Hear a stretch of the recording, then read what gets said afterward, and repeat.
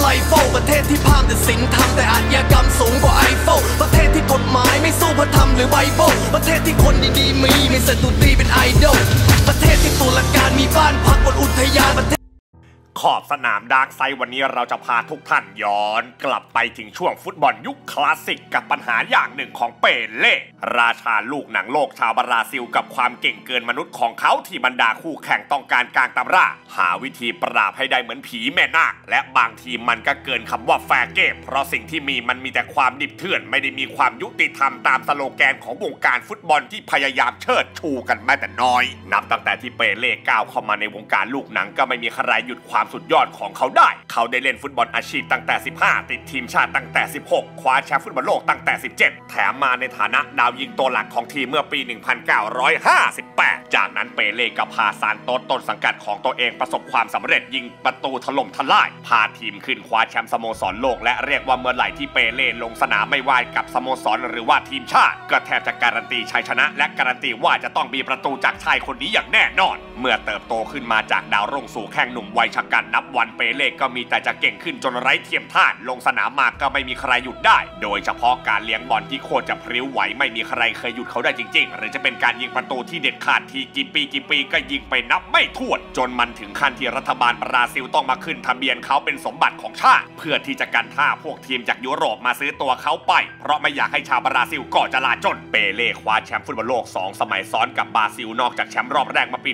1958 แล้วยังมีแชมป์อีกครั้งในปี 19 1962 ที่ชิลี แม้ว่าฟุตบอลโลกในปีนั้นเปเล่จะได้เล่นแค่นัดแรก เนื่องจากมีอาการบาดเจ็บแต่ว่าเขาก็ยังได้ชื่อว่าเป็นแชมป์โลก 2 สมัยซ้อน และมีโอกาสจะเป็นชาติแรก ที่คว้าแชมป์โลก 3 สมัยซ้อนกับการแข่งขันฟุตบอลโลกปี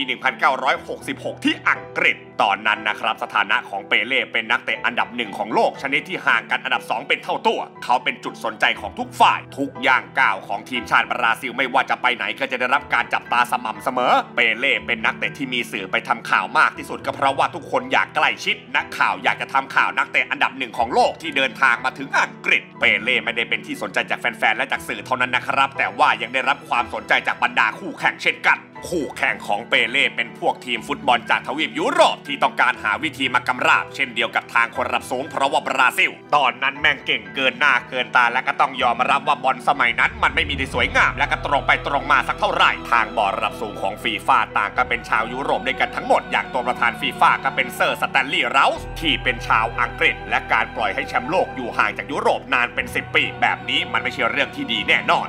ผมไม่สามารถบอกเรื่องนี้กับคุณได้หรอก เพราะว่ามันเป็นเรื่องของความรู้สึกนะ ผมจะไม่บอกว่าฟีฟ่าและฝ่ายจัดพยายามขจัดบราซิลออกไปจากทัวร์นาเมนต์นะ ผมไม่รู้ว่าพวกเขาทำอะไรกับการแข่งขันบ้าง แต่ว่าการคว้าแชมป์โลก 3 สมัยติดของบราซิล เป็นสิ่งสุดท้ายที่คนระดับสูงต้องการให้มันเกิดขึ้น วันนั้นเนี่ยผู้หลักผู้ใหญ่ทุกคนต้องการให้ฟุตบอลกลับมามีสมดุลอีกครั้ง คือแชมป์มาอยู่ทางยุโรปบ้าง ยิ่งคราวนี้ฟุตบอลมันจัดที่อังกฤษ การที่แชมป์โลกจะกลับมาสู่ยุโรป มันจึงเป็นเรื่องที่คนใหญ่คนโตเขาต้องการกันน่ะ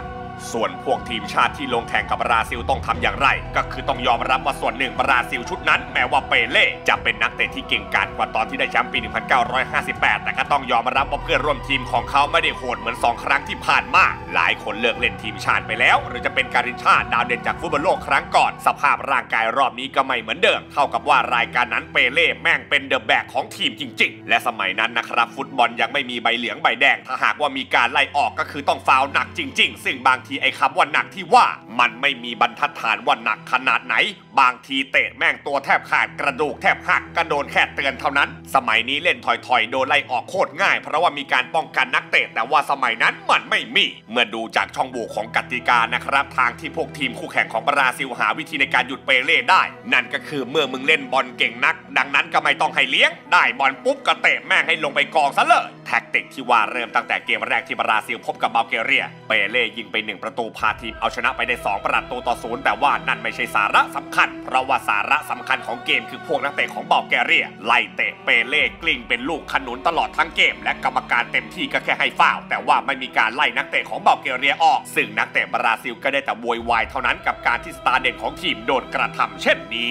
การเตะแหลกไม่ให้โอกาสของบัลแกเรียทำให้เปเล่น่วมเกินกว่าจะลงสนามได้ แน่นอนว่าบราซิลที่ไร้เปเล่กลับแพ้กับฮังการีไปเละเทะบราซิลก็เลยต้องมาชี้ชะตานัดสุดท้ายกับเกมที่กูดิสันพาร์คเจอกับโปรตุเกสที่ชนะมา 2 นัดรวดซึ่งบราซิลต้องชนะเท่านั้นจึงจะเข้ารอบต่อไป บราซิลไม่มีทางเลือกก็ต้องส่งเปเล่ที่สภาพร่างกายไม่สมบูรณ์ลงสนามไปสู้ และมันก็เหมือนเดิมครับ ยามที่เปเล่ได้บอลปุ๊บตีนของผู้เล่นคู่แข่งก็ลอยเข้ามาหาเสมอ มีจังหวะหนึ่งเขาโดนเจ้าโมเรสกองหลังโปรตุเกสเข้าบอลแบบโคตรทุเรศเอาง่ายๆว่าแม่งเหมือนจะฆ่าคนมากกว่าเล่นบอลแต่ทว่ากรรมการกลับไม่ไล่โมเรสออกราวกับว่าไม่เห็นส้นตีนอะไรทั้งนั้น การเข้าสกัดครั้งนั้นถูกยกให้เป็นการเข้าสกัดที่ส้นตีนที่สุดในประวัติศาสตร์ฟุตบอล เช่นเดียวกับกรรมการในวันนั้นก็คือจอร์จแม็คเคบก็โดนวิจารณ์อย่างหนักกับการที่ยังให้เจ้าโมเรสอยู่ในสนามต่อ เปเล่ที่โดนเตะน่วมสุดท้ายร่างกายก็ไม่ไหวบอบช้ำสัสสัสแถมบอลสมัยนั้นเปลี่ยนตัวไม่ได้ เปเล่ทำได้อย่างเดียวนั่นคือเดินกระเพลกในสนามจนจบ 90 นาทีปล่อยให้โปรตุเกสกำชัยไป 3 ประตูต่อหนึ่งซึ่งมันก็เท่ากับว่าภารกิจป้องกันแชมป์โลกของบราซิล จบลงแค่รอบแรกเท่านั้น ซึ่งหลังจากจบเกมเปเล่ก็รับไม่ได้กับการปฏิบัติของทุกคนที่มีต่อเขาทั้งคู่แข่งที่เล่นงานเขาแบบเอาเป็นเอาตายหรือจะเป็นคนพวกคนเบื้องบน ซึ่งเขาเชื่อว่ามีใบสั่งให้กรรมการตัดสินแบบนั้นไม่ปกป้องเปเล่สุดท้ายเปเล่จึงตัดสินใจขอไม่กลับมาเล่นในฟุตบอลโลกอีก จนกลายเป็นวาระระดับโลก ซึ่งเปเล่ก็ทำจริงในตอนแรก นั่นคือเขาไม่ยอมเล่นในเกมฟุตบอลโลกรอบคัดเลือกในนามทีมชาติบราซิล ก่อนที่สมาคมรวมถึงฟีฟ่าจะขอส่งจดหมาย มาขอร้องให้เขาเปลี่ยนใจ สุดท้ายเปเล่เปลี่ยนใจไม่พอนะครับ ยังมาช่วยให้บราซิลกลับมาคว้าแชมป์โลกในปี